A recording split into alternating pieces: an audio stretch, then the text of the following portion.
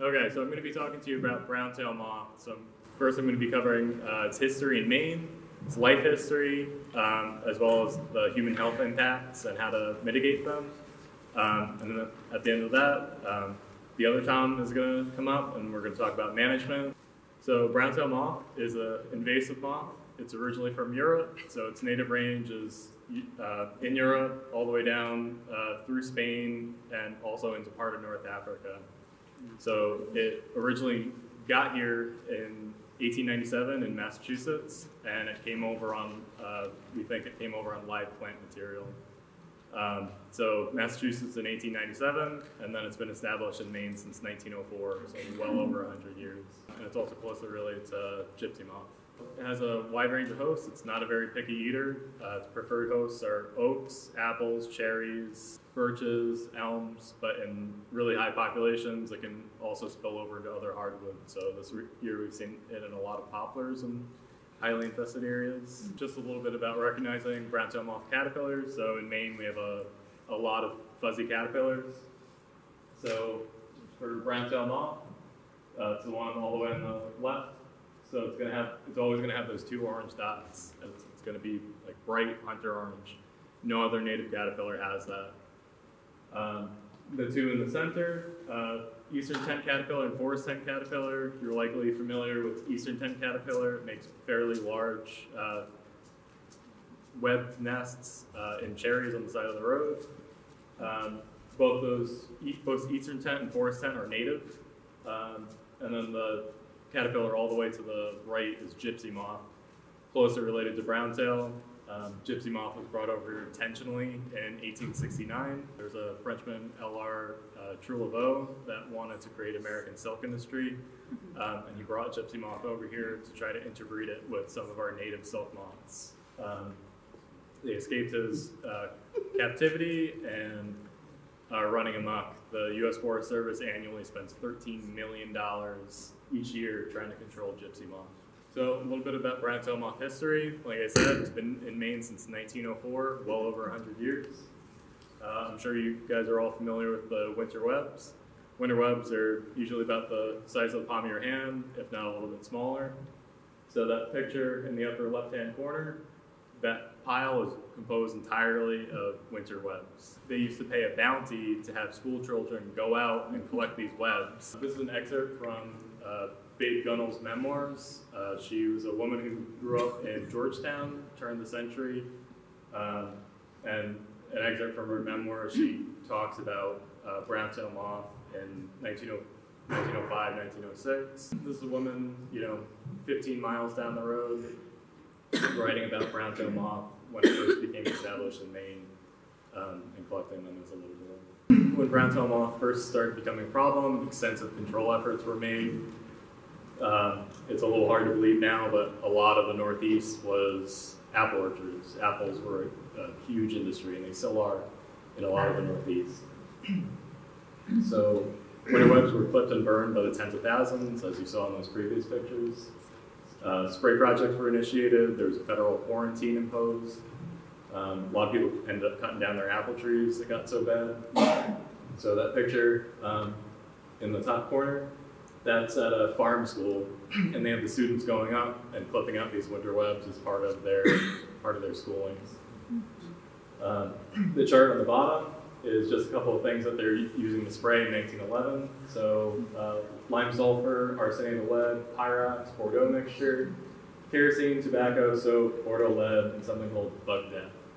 So a lot of these things uh, we don't spray anymore because we now know uh, the human health impacts as well as the ecological impacts. A huge biological program was initiated. So remember before when I was saying that brown-tailed moth and gypsy moth are closely related.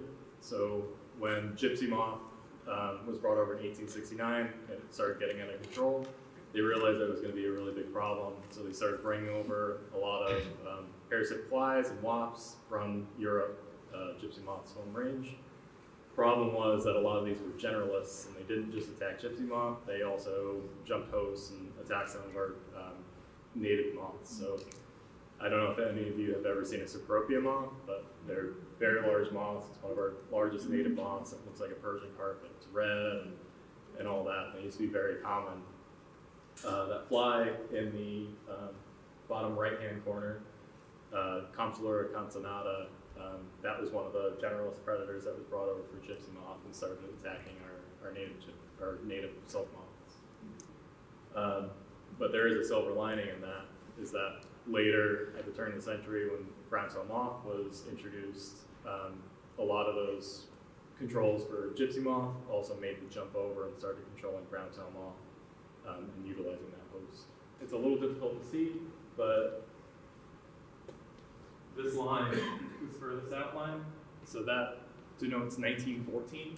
So that was the the largest extent that brown tail moth um, ever expanded in, in the Northeast. So 1914, you can see it's um, most of Maine, almost all of New Hampshire, half of Vermont, two thirds of Massachusetts, half of Connecticut, um, all of Rhode Island, and even a little bit down on the tip of Long Island. So in 1914, you know, most of the Northeast. So there was a few outbreaks. So in the late teens, early 20s, the brown tail moth population collapsed. So it went from that furthest extent in 1914 um, to this dotted line right here, which denotes 1922. Uh, and then there was occasional um, outbreaks and population collapses over the next 60 plus years. Um, so the last major population collapse that we had was in the 1970s, and in the 1970s, um, it was retreated basically to the Casco Islands and parts of Cape Cod. And a lot of people ask me, um, you know, if it was just on the Casco Islands, why didn't we go through and, and eradicate it? So it's sort of a false statement to say that it was only on the Casco Bay Islands, unless you checked every oak, apple, cherry, birch, everything like that on the mainland. It was just likely in subdetectable population level. So, like I said, huge population collapse in the late teens, early 20s. So we don't really know why that happened. Um, they didn't really take great records on on that event, but it was possibly due to a combination of Entomophaga aulicae, which is a fungus that attacks brown-tailed moth. Um, that picture is a caterpillar that's infected with fungus, um, as well as those generalist parasitoids, the flies and the wasps that I mentioned before. So this is the second part of the excerpt from Bayes Gunnell. She's talking about that population collapse that occurred in the, the late teens, early 20s.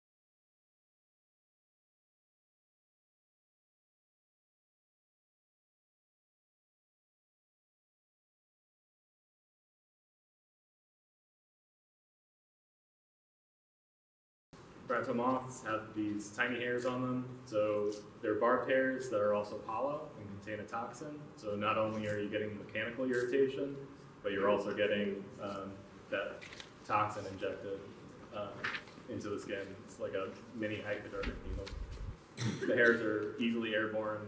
Um, they can settle on the grass, leaves, um, sheltered areas under your deck, under your um, boat trailer, stuff like that and they can become airborne again. I've heard stories of people shoveling snow in the winter and shoveling into a, a pile of leaves, and they had had a high brown tail moth population before, and um, accidentally breathing in those hairs um, in the middle of the winter. So the toxin is very stable in the environment, and it can last between one and three years, um, and it doesn't uh, it doesn't break down readily. The only thing that really breaks it down is high heat. So um, later on in the presentation, when we talk about management, burning the webs, uh, you don't really have to worry about you know the toxin uh, becoming airborne because it um, the heat will, destroy the toxin. And um, if you're drying laundry out on the line, uh, high heat, drying it at high heat um, in a dryer before um, taking it in will also help destroy that toxin. So the secondary problem is tree damage. So uh, brown-tailed moth isn't a huge forest pest; it's more of a human health nuisance. Um, so caterpillar feeding can cause branch dieback at about 30% defoliation. Um, and tree mortality only occurs after a few years. So this defoliation is compounded in the mid-coast region by another um, non-native moth called winter moth. Um, there's a few flyers over there about winter moth.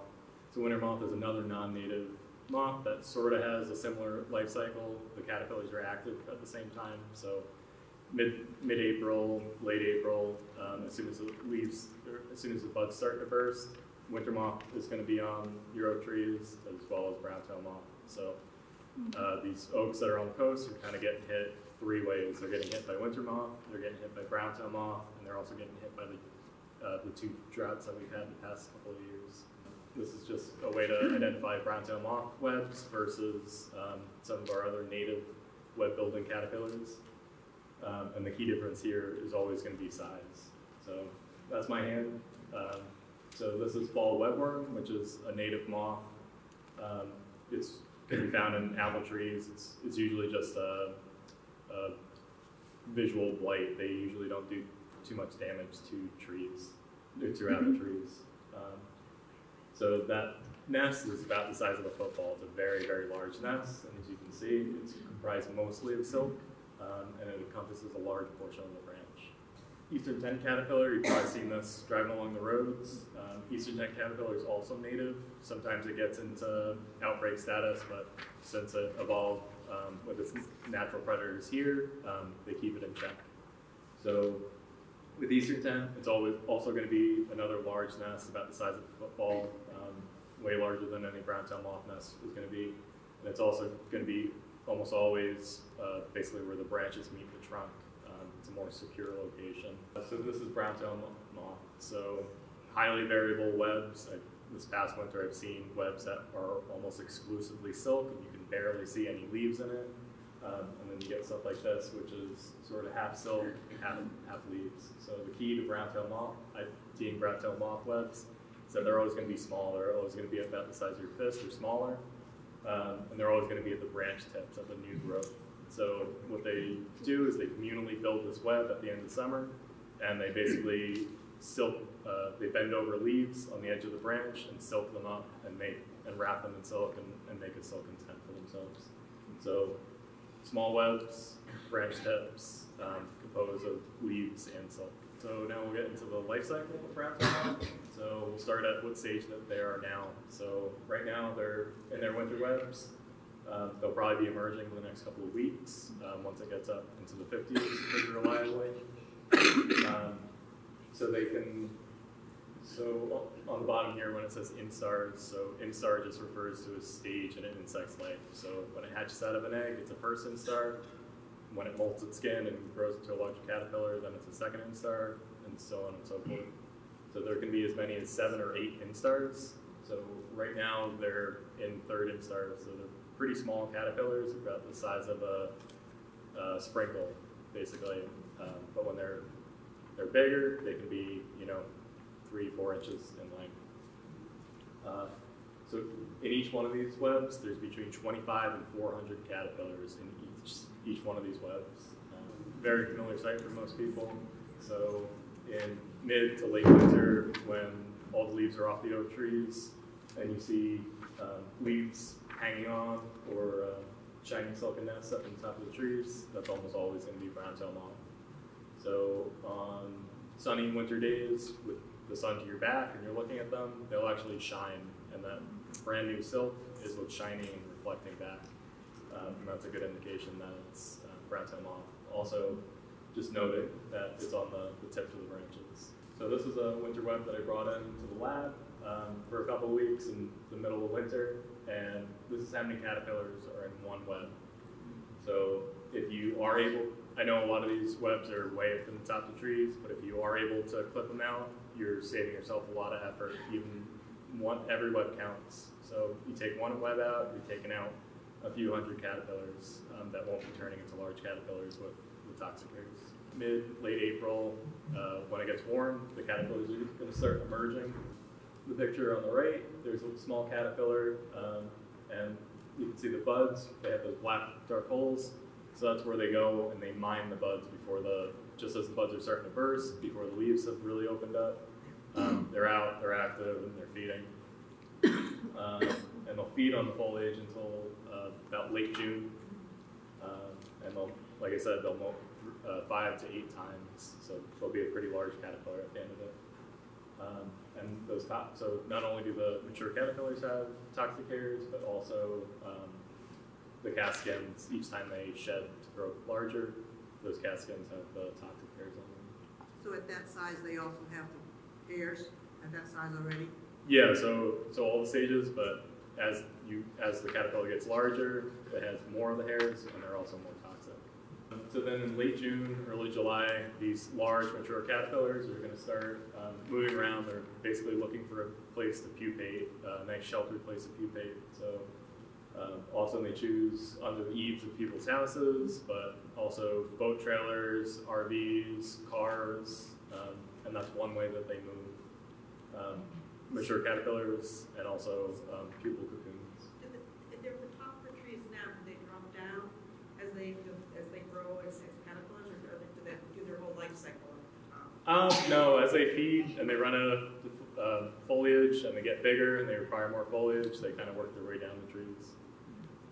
Um, so again, these cocoons are, are full of toxic hairs, so often they'll pupate right on the tree in the leaves. And then the adult moths uh, emerge from the cocoons in July and are active um, into August.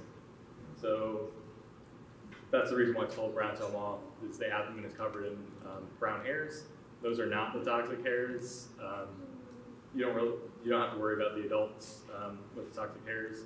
Occasionally, as they're coming out of that pupal cocoon, they'll maybe pick up a few toxic hairs, but those brown hairs on the abdomen are not those toxic hairs that you have to worry about.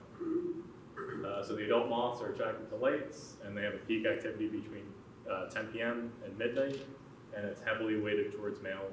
So a lot of people tell me that they got the shot back out, and they're vacuuming up all the moths around their lights. Um, and that's not really doing a whole lot for the population. It's definitely making people feel good, but uh, unfortunately for us guys, we don't really matter too much biologically. It only takes a few females um, that are fertilized to to keep the population numbers up. Mid to late July, early August, um, the eggs will be deposited on the leaves of the host tree, so oak, apple, cherry, um, birch, and there's in each one of these uh, egg masses, there's between two and 400 eggs. And I don't know if you can make it out, but the, you can see the little tiny baby caterpillars um, hatching out and, and, moving away from the egg mass. Um, so the female will cover the egg mass with those hairs from her abdomen. Again, not the toxic hairs they have to worry about. And they prefer they prefer trees that weren't defoliated the previous spring. But in areas of high infestation, they will um, go back and go back on those same trees that were defoliated in the spring. So the eggs are gonna um, hatch in August. So as the, when these caterpillars hatch in August, um, they're gonna feed communally, and they're not necessarily defoliating the leaves; they're skeletonizing them. So they're basically eating the top layer off the leaves, um, which is that picture on the right. You can see those little baby caterpillars. Dark green uh, leaf surface is the natural leaf surface, and they're just basically grazing that right away. Um, also, in in August, they're going to start building that winter web, it's a communal effort between those 25 to 400 caterpillars. So this is basically just a summary of the life cycle. Uh, so the takeaway home message here is the highest risk for exposure to hairs is between end of April uh, through July, and the the life stages to worry about are uh, the caterpillars. Mature caterpillars have the most toxic hairs, uh, cast skins, um, on the trees and around the trees, um, as well as those pupal cocoons have a bunch of those toxic hairs in them. Uh, so the current situation in Maine right now is we've seen a uh, market increase in the population since 2015. brown-tailed moth has been found in 12 out of Maine's 16 counties. That doesn't mean that we have established populations there. It Just means that we we have light traps all over the state. We that's a survey for defoliators, and occasionally we'll pick up an adult brown-tailed moth in one of those light traps. Um, so it doesn't mean that there's a established population in all those 12 counties. We do aerial surveys in the fall and the spring to pick up defoliation. Um, so we usually fly in late spring, early summer uh, to pick up defoliation from the mature caterpillars, and then we fly again in October, uh, September, October to pick up the defoliation from those little tiny caterpillars that are skeleton, skeletonized in the leaves. So this is the risk map for 2018. This is going to be updated hopefully later this month. Uh, we're completing some of our winter web surveys. Uh, so things that are probably going to change in 2019, a lot of those yellow islands in the center of that um, in the center of that blob are going to be becoming uh, orange, which is classified as moderate, and a lot of these um, a lot of these uh, orange blocks on the uh, on the border that um, on the high infestation, those are going to probably become red as well. Uh, so this is our aerial defoliation uh, that we mapped last year. So 126,000 acres of defoliation. That blue line denotes the extent that we found winter webs. Um, that is also going to change in 2019 because we found winter webs um, up in Crawford, which is um, near the Canadian border, uh, as well as some other sites a little further north. Take home message. So in 2003, um, there was a little less than 11,000 acres. So compare that to 126,000 acres from just 2018.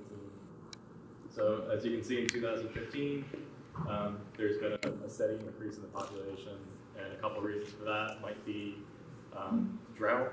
So the drought that we've had the past couple of summers um, helps brown-tail moth. So that fungus that I was talking about before um, doesn't survive and doesn't spread well when it's hot and dry. Um, we need cool, wet springs. So cool, wet Mays and cool, wet Junes um, will help the brown-tailed moth population. In the summer, during that activity period, you're going to try to want to not park um, underneath ornamental trees or trees that can serve as a host for brown-tailed moth. Um, so mature caterpillars can hitch rides on your car, uh, cocoons, and sometimes adult moths. So those are the three mobile life stages. At the top of the map, there's uh, three red stars. So those are populations that are away from the main bulk of the population, and each one of those um, locations is anecdotally tied to uh, people that have vacation homes on the coast, and they unknowingly bring brown-tailed moth um, with them back to their, their primary residence.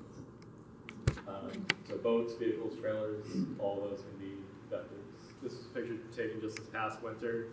Um, when we were out doing surveys, this was a population that was way outside the, the normal bulk of the population. Um, in that red circle up there, there's five uh, moth winter webs, and we were curious about how they got there. Um, well, if you look in the bottom uh, left-hand corner, there's a camper. So what likely happened is that these people were down on the coast, uh, camping out in a heavily infested brown-tailed moth site, and accidentally brought either cocoons or mature caterpillars back home with them and started one of these little satellite populations. Obviously, you're going to want to try to avoid exposure to hairs um, and avoid places that are heavily infested with caterpillars if you know that you're very sensitive. Um, so this bottom bullet point, what a lot of people forget is that if you're in a heavily infested brown-tailed moth um, area, you're going to want to dry your laundry inside if possible. Um, believe me, I am a huge fan of line-dried laundry, and it's one of the best parts of summer. Um, but it might save you some some headaches if you dry your laundry inside.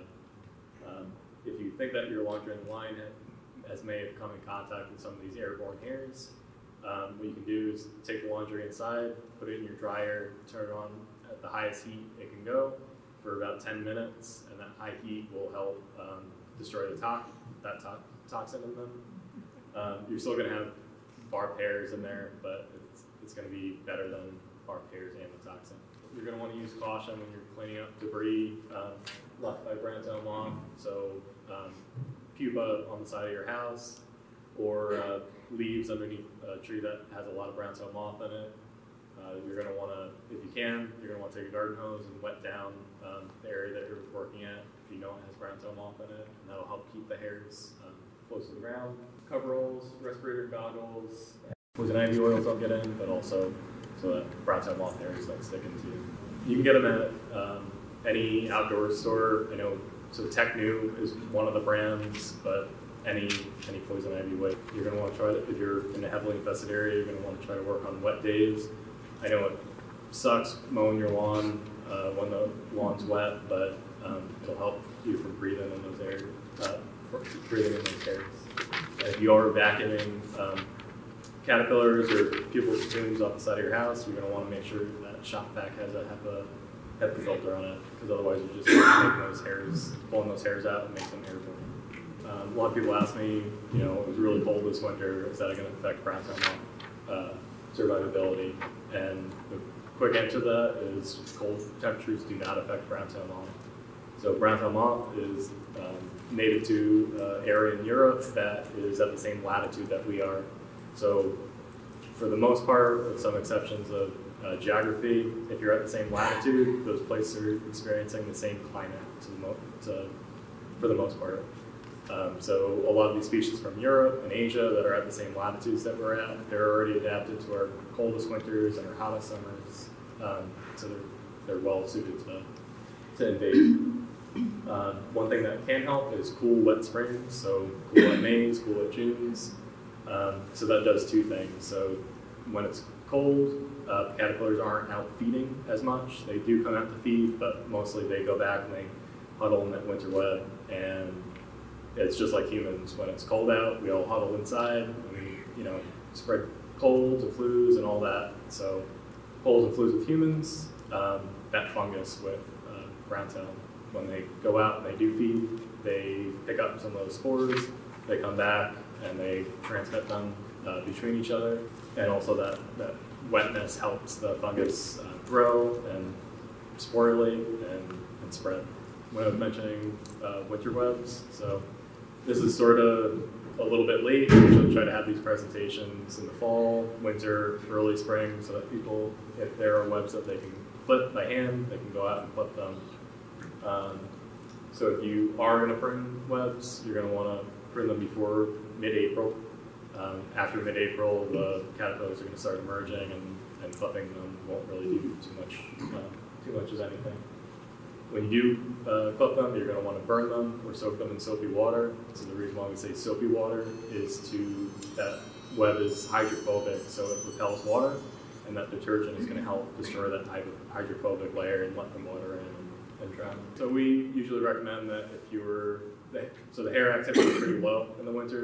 We recommend that if you are sensitive, you know you're sensitive, you're it's never going to hurt to, to take all the, the precautions that you can. So also destroy the webs if you're clipping them out. If you clip them out and they just go on the ground, those caterpillars are going to come out and they're going to find the tree and climb right back up. They're very good at that. Does anybody have any questions about the history, life cycle, any of that? I thought that I read somewhere that at one point they did aerial spray They in the did. fifth grade. What happened with that, or was it effective, or? Well, so they used to do that in like 50s, 60s, 70s, and before that. Um, so one of the things that happened was that our funding got cut. So in the early 2000s, we lost two entomologist positions, and then uh, five years ago, we lost uh, another tech position. So we're spread pretty thin. Um, there's a lot of other stuff going on in Maine, like emerald ash borer, hemlock woolly adelgid, and winter moth. And so we're a small group trying to, to spread ourselves out. This, the tail moth is still active in Europe, is that right? Yep. Yeah. So in Europe, it so there are uh, some colleagues in Europe that we um, talk to to see if there's anything that they found uh, that's effective. And for the most part, in Europe, um, it's not really a, a huge problem. Um, occasionally, it does have outbreaks, like in Spain, they just had an outbreak not too long ago, but it dies down. Um, so the outbreaks here typically last between six and seven years, uh, depending on the weather that we have. Um, so right now we're in year four of this outbreak. So she was just uh, noting that there was a fly um, that was um, taking advantage of a, um, one of these caterpillar, dead caterpillars. Um, so it's possible that the fly may have been just feed, feeding on the dead caterpillar. A lot of these flies that uh, do help control brown-tail, they lay their eggs inside brown-tail moth caterpillars, um, and then the, their larvae basically eat the caterpillar from the inside out. They got very dry. Very dry. Yeah, they, they killed it. Yeah, so it might have, they may have died from the fungus, um, and then the fly came in. So the question was, um, what's the difference between gypsy moth and winter moth? Gypsy moth is a fairly large caterpillar. I'm, I'm sorry, the brown tail is. Brown tail and gypsy In moth. winter, Oh, brown tail in winter. yeah. Okay. Sorry. So winter moth is uh, is not very closely related to these. So winter moth is uh, it's like a little green inchworm. Uh, basically, it's not Okay. heavily defended at all. Um, pretty small, and uh, that's going to be on oaks and maples in coastal Maine. So winter moth is, is found basically all the way from Kittery all the way up to Bar Harbor. So the question is, uh, what are the effects of the hairs on pets? It can affect if it gets in their eyes or their nose. It can affect, um, you know, they can have a similar um, irritation. But as far as most of the most of the body, um, their hair is pretty much going to keep those toxic hairs away from their skin. The problem arises when um, people go to, if their dog has been out rolling leaves, and they come in and they pet their dog and it have, to have uh, brown hairs on it, they could pick them up.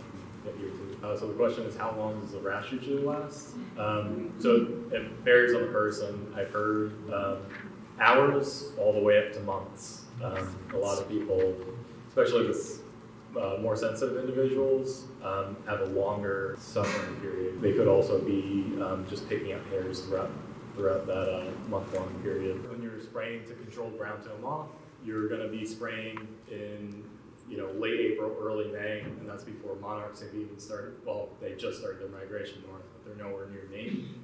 Um, also, a lot of our other native moths and caterpillars aren't active at, at the time that winter moth and brown-tail moth. So you're missing a, a bunch of those because you're spraying early trying to get those young caterpillars, so you're missing a bunch of our natives. So do they spray with horticultural oil and insecticidal soap? I guess this might be a good segue to go into Yeah. management. You can do an uh, aerial foliar spray, We're precluded from doing that in some um, shoreline zoning areas. So uh, there is a a soil drench you can also use and an injection. Um, The, the the effective material is called acephate, E A-C-E-P-H-A-T-E, acephate. You, you have a small window of opportunity to, to apply this material. And once that window's closed, um, you really don't have that as an option, and you have to wait to um, another life stage. So um, the, the material you can use, uh, BT, BT is also another material you can spray on the, on the foliage. And another um, material is called Entrust, E-N-T-R-U-S-T. Uh, BT is a, a bacteria that you spray physically onto the leaves of the tree. Um, it eats, uh, the, the caterpillar eats it and dies from the inside out. I, I tend to shy away from um, the, the foliar, the foliar spray or aerial spray just because of the, the, the amount of material that must be um, applied.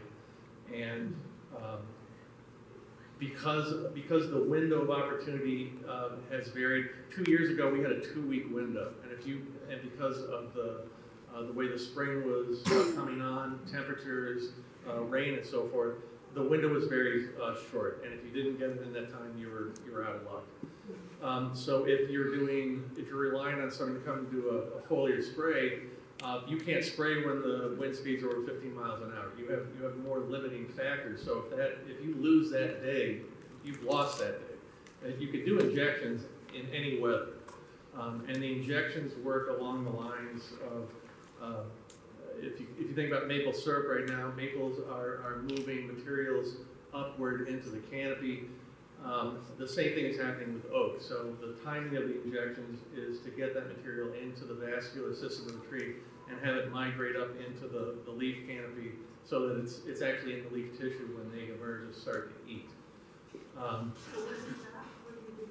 I'm sorry? When you do that, when you inject Um, I just uh, spent my afternoon doing that. Um, I, um, I was at a talk last night in Yarmouth, and I talked with Whitney Tree and Noah Tucker from Bartlett and whatnot, and we're all, uh, the, uh, the, the window has opened. So I'm, um, I've started my injections already. It, it should run, it, I, I'm guessing about a three-week window right now. They have not emerged yet. It's gonna take some warmer temperatures for them to emerge, but the tree itself has been active for several weeks, and it's, it, it will migrate the material up, and, and it will uh, become part of the leaf tissues. There are some over-the-counter um, materials. You still need to be very cautious with them. Sherrill Tree, S-H-E-R-R-I-L-L, tree.com.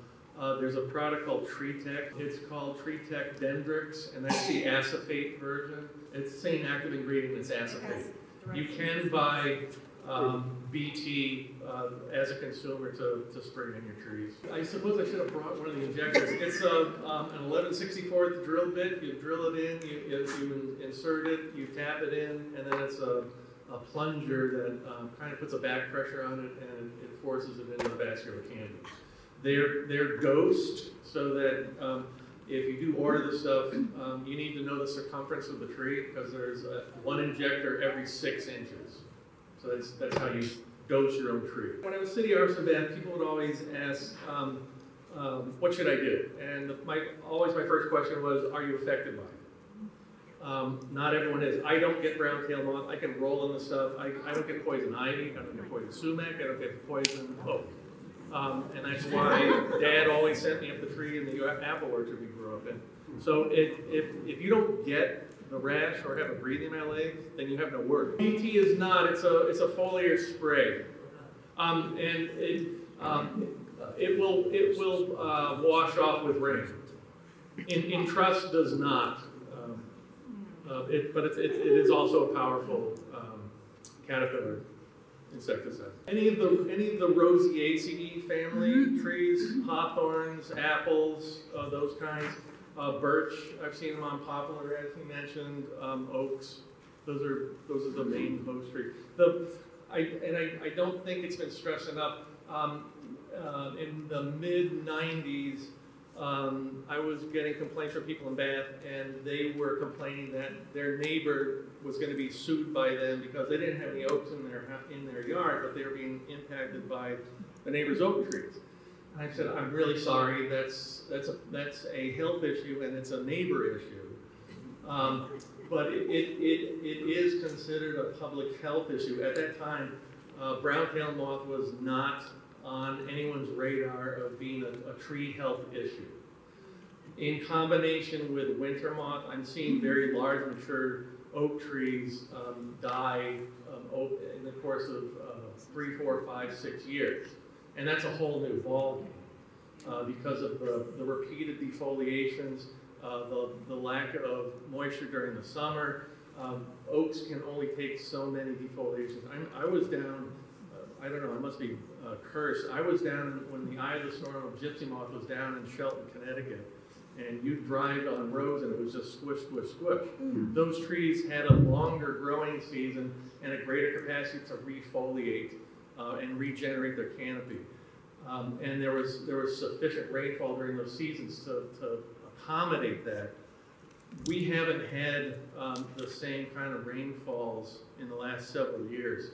Um, so the, the, the stress that is, these trees are now under is, is quite substantial. So um, the combination of winter moth and brown tail moth is, is a, a huge concern. Just brown tail moth is a public health issue, but between the two of them, now it's a tree issue and a health issue. The, the first place I go to search is the, the Forest Service has um, a, a website, and um, the, the state arborist licensing bureau asked for all arborists, licensed arborists that were willing to, to do brown tail moth mitigation. So there's a list on, on the state's website, and it's broken down by county, um, how far you'll travel, will you go certain heights, do you do spraying? So you, you've got a, a, a good list to work from. Um, so that's, that's number one.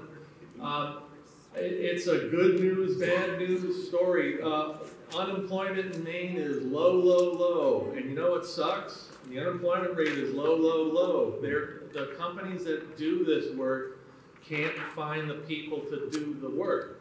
And the, and the, I, personally, I have taken between ten and fifteen calls a day for the last three weeks of, from folks like you saying, can you come help me? I'm, I am a one-person business. I have spoken with Lucas Tree, Bartlett, Davy, Asplund. They are booked solid. They're, they're like physicians now. It's like, I can't take on any new clients or, or customers. So you, you need to, um, call as many as possible and, and go on that list. It's, it's, I, I'm, I'm sorry to say that. So you're, um, again, when I was city arborist, it was, if you had a problem, you could do nothing or cut the tree down. Um, and I, I hate to sound crass, but removing the host is removing the host. Um, you, you no longer have that issue. It, it is, it is a, um, a strategy. Um, in between that, you have uh, foliar sprays, you have the injections, you have soil drenches. There is a fall injection period when you can do a, a follow-up injection.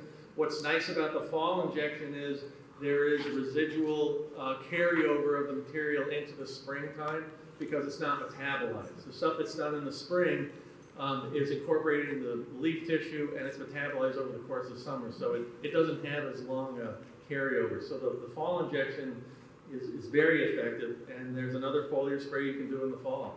So it's, it's a number of things. And, and I, I don't know if I should say this or not, but I would not uh, recommend hiring people to go cut the nest out of the trees. I'm sure he's gonna give me a funny look, but to pay someone to go up 90 feet to get nests out of the ends of the tree, you're not gonna find anyone that's gonna do it. And those that are, there are companies up, up in the Mid-Coast that are hiring a crane for a whole day to dangle someone to get those nests out. That's cost prohibitive. Um, there, there's better bang for the buck doing, um, these, these other types of remediations. Lower, lower elevation stuff is reasonable to have someone remove nests. There's no silver bullet and there's no one treatment that's gonna clean it all up. It's gonna be an ongoing maintenance thing, and it's also gonna be, uh, finding out from the state what overwintering survival rates have been, uh, looking at the map to see how far it's spread.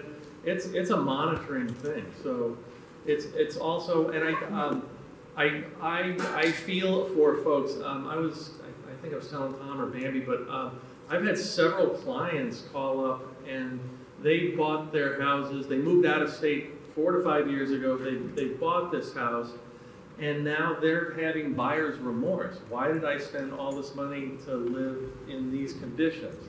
So a lot of it is, and, and someone asked me the other day, what would you do if you lived here? I never answer that question, I don't live there. It's not my property, it's not my asset, it's not my quality of life, it's not where I live, so it's you deciding, um, would I, would I treat my entire thirty acres? No, that's ludicrous.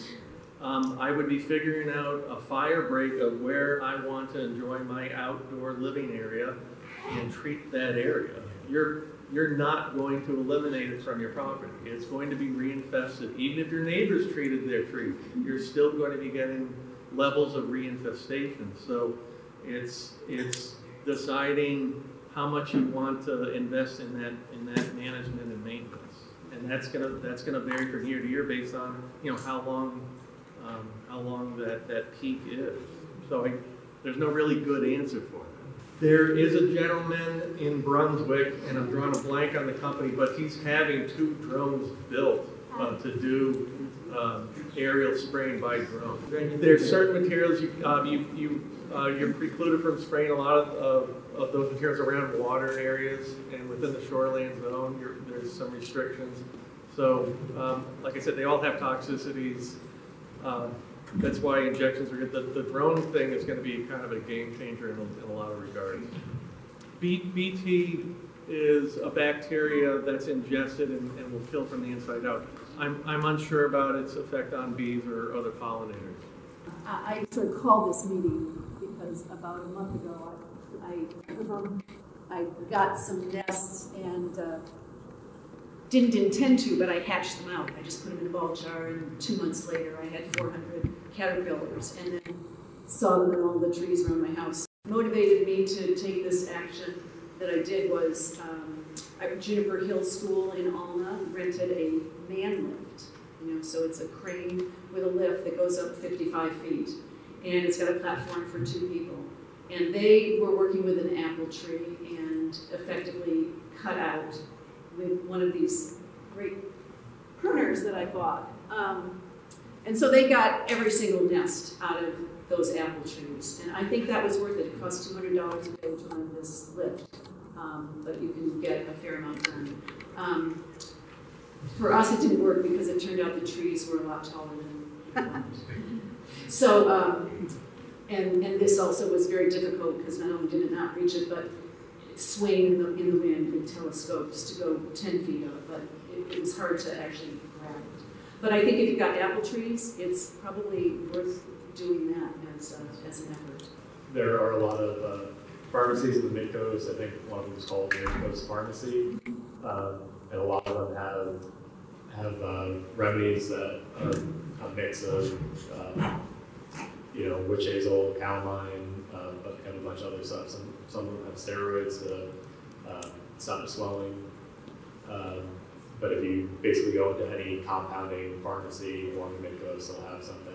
And I know uh, if you go to some of the grocery stores, right as you walk in or right near the pharmacy, they have a whole table just devoted to, to brown tail and stuff. So there is anecdotal evidence of um, even people that don't react, reacting um, after successive um, long-term exposure. Noah Bartlett at Bartlett Tree um, he used to never react, um, and then he worked in a heavily infested brown moth area for two years, and then all of a sudden he started to get the rash. So often it's the people with, um, you know, fair skin and all that that are the most affected. Um, and it is, it is sort of like a lot of other allergies is that, um, you can, the, it gets worse if you get, repeated large exposures to these areas. There's three things I found mixed together that are most effective. It's witch hazel, Benadryl, and hydrocortisone. And if you mix those three things together and make them into a little syrup and use a cotton ball, it's like the best on the planet. If you, if you've already got it presently on the property, you, you probably want to at least try a spring injection. Um, and then wait and see what happens over summer. If, if it's really dry over summer and you have the ability to irrigate, uh, I would, I would recommend irrigating. Um, they, they've done a lot of controlled studies about trees that are under stress and, um, they found that the most effective means of reducing stress in a tree that's under stress is just irrigation. Uh, trees, trees have really acute immune systems and can respond really well, but they, they have to be properly hydrated. Uh, there's a there's a summer dormancy. Um, photosynthesis is um, most efficient in the 70 degree temp range, and once you get into the summer, things just kind of change. Uh, but making sure it's properly irrigated can go a really long way.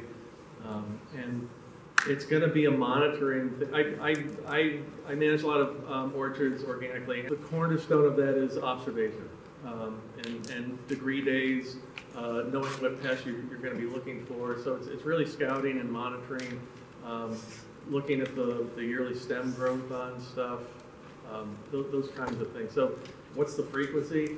It's, it's knowing, it's knowing your trees. Go out and, go out and talk to your trees on a you know, Yeah. weekly basis. I mean, there's nothing wrong with that. And it's really, it's monitoring them, knowing, and, and knowing how they react. There's no silver bullet and there's no one treatment that's gonna clean it all up. It's gonna be an ongoing maintenance thing, and it's also gonna be, uh, finding out from the state what overwintering survival rates have been, uh, looking at the map to see how far it's spread. It's, it's a monitoring thing.